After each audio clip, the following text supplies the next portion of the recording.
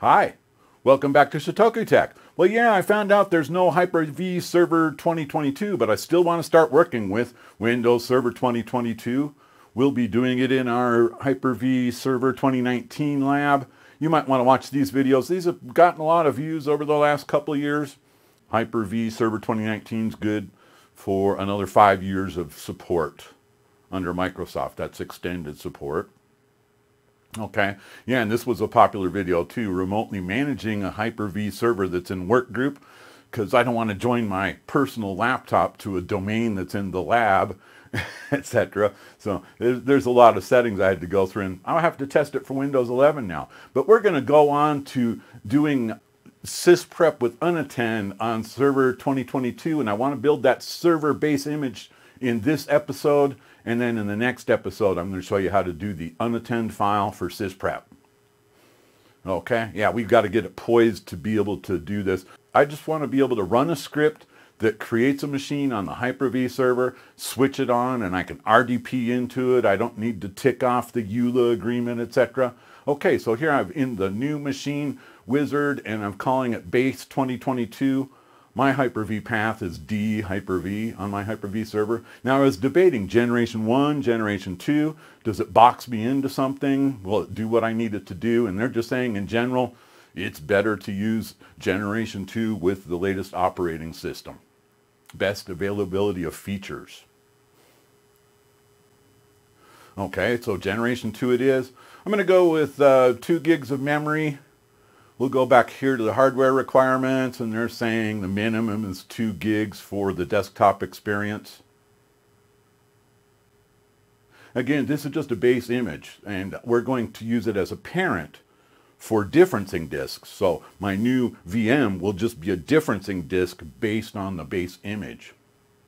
Okay, we want our guest machine hooked to the LAN and there's my name of my disk and the location of the disk for this base image. And I'm only going to make it 40 gigs. It's never going to get really get bigger because we're not going to be running it. It's going to sit idle and the differencing disk will be the live disk that represents a unique virtual server. So yeah, there's my D drive. Yeah, I downloaded the Server 2022 ISO, the DVD ISO. So we can uh, install from that and we're going to go ahead and finish creating this machine. Now we just want to switch it on long enough to tweak a few settings. Like I say, we want to make sure uh, remote desktop is enabled. I want to turn off server manager at startup. We're going to do that in the course of this video. Yeah, there's the location of the VHDX file for our base 2022 image and I'm going to update my script here. This script creates that differencing disk and builds a virtual machine based on this 2022 base image. And it assigns uh, dynamic memory, adds an, a spare uh, hard disk as well so that you have a data disk and operating system disk. So that's what the script does.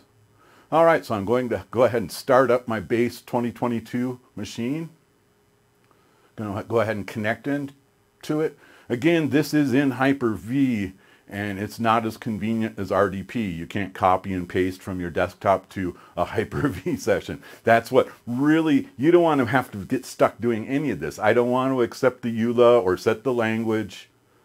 It, can you imagine going through these steps every single VM? You drive yourself insane. I'm just going to go with standard edition, desktop experience. I don't really think I need data center. Okay, again here, I don't want to see this. I, I accept the terms, but on my VM that I launch, I just want it to pop up and I want to RDP into it. I want to already know the administrator password. I want the time zone set correctly and the language set correctly. And so building this base image gives us this opportunity to do that. You can see this, I've compacted this a lot, so it's uh, going to go faster. But I wanted to show you everything that you're going to see when you're installing Server 2022. I mean, uh, I'm only going to do this once. After this, I will never see this again because I'm just going to run that script, launch that machine, RDP in, install whatever Windows roles, etc., and start uh, going to work with it. In my lab. Yeah, my domain controller has already used up all six of its rearms. So it's been running in evaluation mode for three years because you can run SL Manager, VBS, slash rearm. You can do that up to six times. So, uh.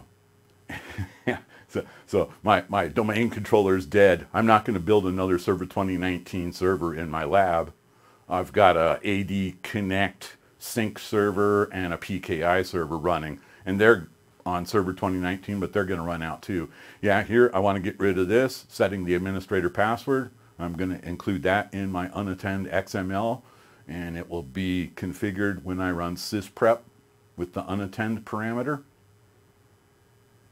So we'll get rid of that. All right, so the machine started up. And again, here you can't copy or paste. You have to type everything in the uh, Hyper-V connection console. We're still cropping and compressing, but you get to see everything here. Okay, we're booting up. Okay. Gosh, that's one of the ones I don't know where to set this in the unattend, is how to set uh, network discoverability. I'll have to find that. Yeah, see here, server manager launches by default. And you got to wait it out, and then you got to close it. I am interested in testing out that Windows Admin Center again. We're going to check that out. Look for a future video the, on that. But don't show me this message again. Okay, so the first thing in Server Manager, we want to enable Remote Desktop. There we go. Click on that. Click OK. And apply and OK. It doesn't change right away, so I'm going to go ahead and hit refresh up here. And again, working in the Hyper-V connection console, it's, it's not as easy as using remote desktop, an RDP session. Okay, we see remote desktops enabled. So now let's go on to get rid of Server Manager at startup. I know we're going to need PowerShell. Okay, we're going to run as administrator.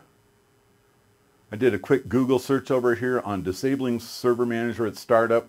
So it's basically get scheduled task, task name, server manager. Okay, and then we're going to disable scheduled task with the verbose parameter. We run that. Okay. So that task has been disabled. Basically, that scheduled task runs every time a new user logs on. every time I log on. It's like, no, I don't want that. So now, in the next episode, we're going to be able to run sysprep unattend. We're going to install the Windows ADK, show you how to make an unattend XML file, and how to run sysprep unattend against it. And I'm going to show you that all of those things that I wanted to get rid of are, are gone. It basically, I just run the script, it fires up the machine, and I can RDP to it right away, and I know the admin password. So you're going to want to stay tuned for that. It's going to be a lot of fun. Leave a comment down below. Give this video a like, and before you go watch more of my Windows administration videos, please click on subscribe. Thank you very much.